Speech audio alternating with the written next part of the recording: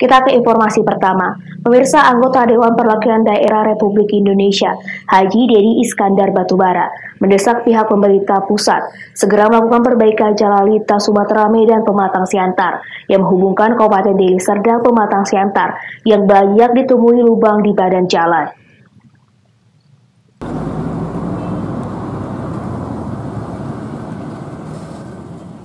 Beginilah kondisi jalan lintas Sumatera Medan Pematang Siantar mengalami kerusakan cukup parah. Lubang-lubang besar dan dalam banyak terdapat di badan jalan sehingga sangat membahayakan para pengendara yang melintas, khususnya kendaraan roda dua. Pantauan di lapangan kondisi badan jalan yang berlubang, mulai dari pagar jati Kabupaten Deli Serdang, kemudian untuk wilayah Serdang Bedagai, di Desa Bengkel, Desa Sesi Jengi, Desa Firdaus, Kota Rampai, Desa Pon, Desa Sebamban, serta Dolok Merawan, serta di wilayah Kota Tebing Tinggi.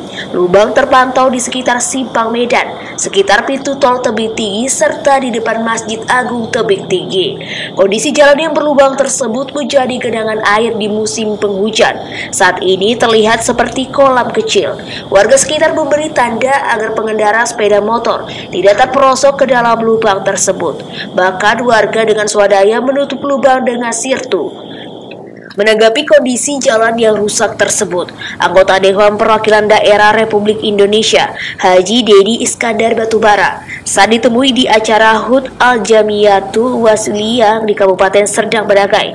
Beberapa waktu lalu selaku anggota DPD RI Dapil Sumut mendesak pihak pemerintah pusat segera melakukan perbaikan jalan yang berlubang tersebut agar tidak membahayakan pengguna jalan terutama pengendara sepeda motor. Secara pribadi dirinya mengucapkan berterima kasih kepada pemerintah pemerintah pusat yang telah membangun jalan tol di Sumatera Utara.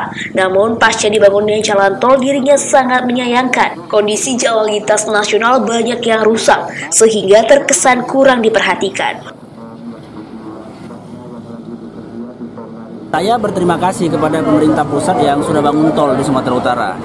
Ya, tapi saya juga menyesalkan bahwa pasca tol dibangun, kemudian jalan lintas nasional itu tidak tidak jadi jadi perhatian saya lihat. Sudah berapa tahun ini memang kayaknya tambal sulam saja ya tambal sulam. Dan saya berharap ini ke pada kementerian e, terkait di Jakarta saya kira ini mungkin case-nya bukan hanya di Sumatera Utara.